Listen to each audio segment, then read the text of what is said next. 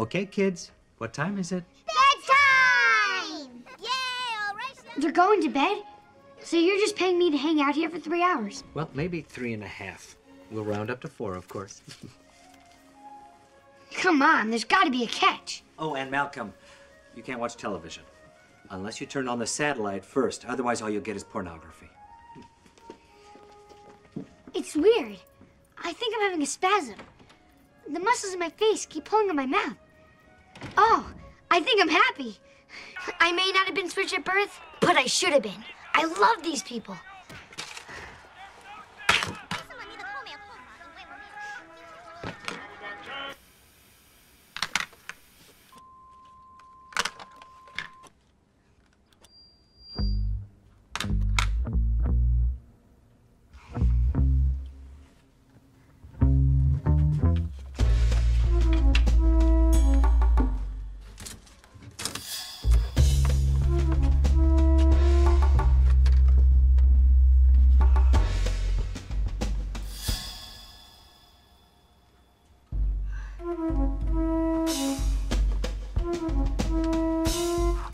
Well, let's see what our little friend did today.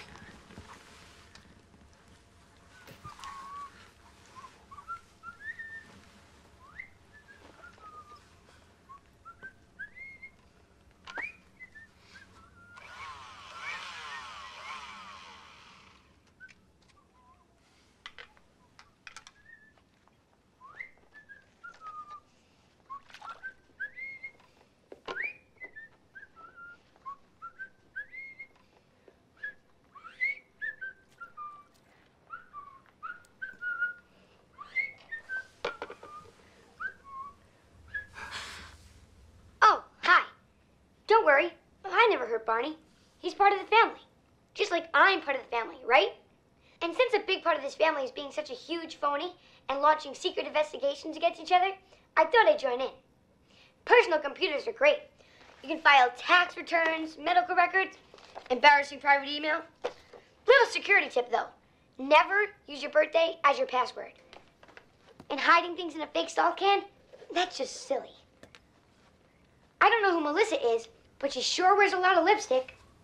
Anyway, I think I hear you guys pulling up in the driveway. So let's just leave it at this. I quit. Bye. Who's Melissa?